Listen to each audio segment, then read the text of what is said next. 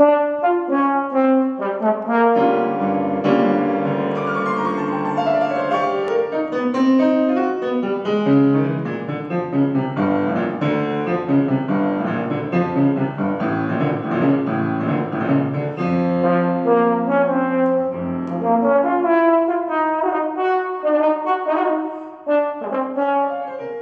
bych rád promluvil o tom absolventském koncertu Kurta Neubauera.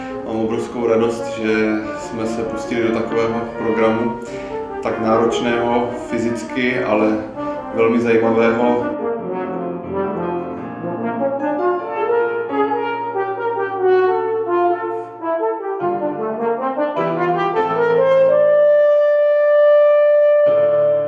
Trošku si vzpomínám na svůj absolventský koncert, kde jsem se taky na Pražské akademii snažil připravit v podstatě neobvyklé skladby a využít co největšího mm, počtu taky spoluhráčů, hudebníků, komorní seskupení a tak dále.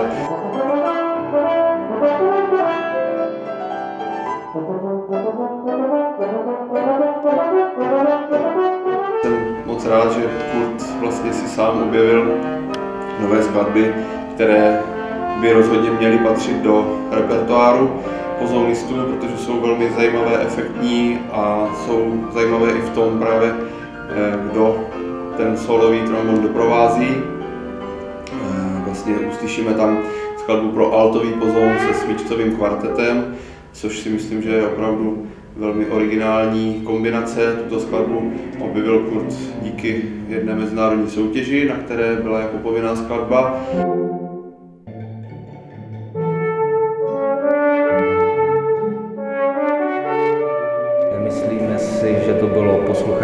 Opravdu úspěšné. Lidi byli nadšení, tak říkají, ze všech skladeb.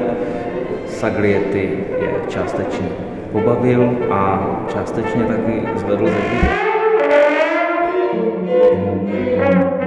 Další zajímavostí tohoto programu bude česká premiéra eh, Jeroma Nolé a jeho skladby Muž tří tváří. Myslím si, že ten název docela hezky sedí ke Kurtově obrovskému vytížení a eh, taky je na tom zajímavé to, že je tato skladba s doprovodem dechového kvinteta a tuto skladbu jsme vlastně měli ve skříni v archivu již několik let, skoro bych snad řekl možná i desetiletí. Eh, Je to ještě z archivu pana profesora Kumra a ležela tam nedotčena a tak jsem velmi rád, že Kurt se svojí odvahou se do toho pustil a, a tuto skladbu jsme pro absolventský koncert připravili. Naše seskupení eh, vzniklo vlastně speciálně pro tento účel. Kurt si objednal tuto skladbu, nebo spíš nás požádal, aby jsme ho provodili s tímto takovým kvintetem, takže jsme začali takhle spolupracovat a jeho vlastně absolvovali. Časový pres je veliký samozřejmě, protože zbývá jenom týden do toho koncertu.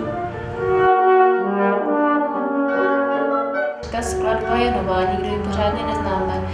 A ještě se nehrála, je tam hodně změn tempových, tak určitě je to lepší s dirigentem.